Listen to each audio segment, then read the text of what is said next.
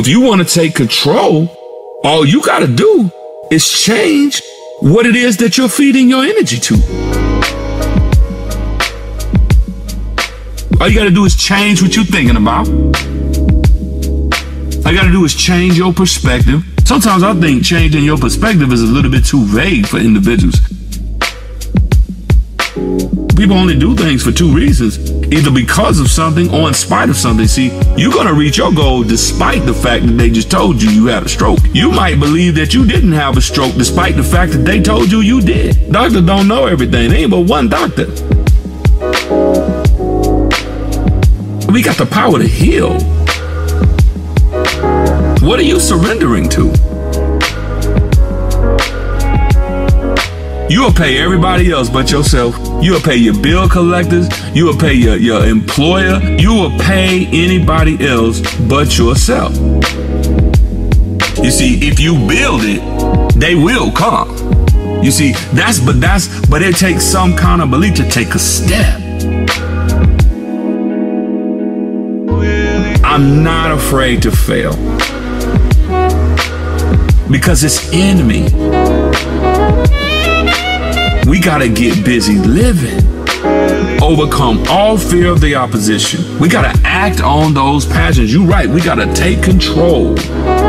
Less announcements and more moves. We got to take control. See, I think individuals got, you know, this preconceived concept in their mind of what God is and where God is.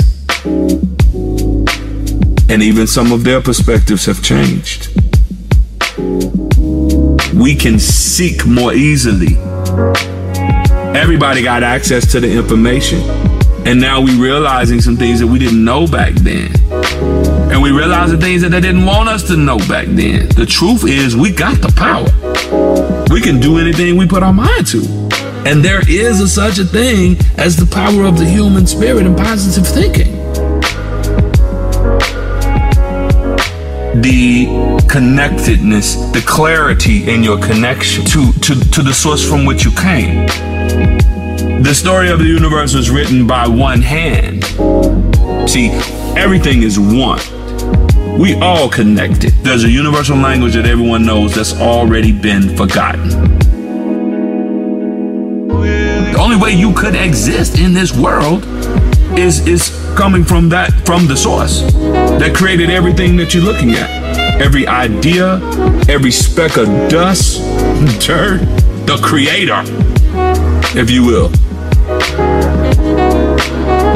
You could not be connected if you wanted to. You ain't in control of nothing other than them thoughts you got going on in your head. That's what he gave you. That's where your free will comes in. As a man thinketh, so is he. Your actions are your thoughts played out in one direction or another. Which one's it gonna be? Even if you're crying, uh, depressed, anxious, any of that, you're talking about taking control. You gotta realize that before you can take control of anything, or else you're gonna fold up like a piece of paper every single time something happens to you taking responsibility for the deficit, but keeping a mindset of abundance. Because if you don't, you're not going to attract more. Remember, you're attracting what you are. I hope you realize it's more to life than your nine to five, and you was put here to do something that's bigger than you. That's all I'm saying. What that is, it is up to you. It's on you.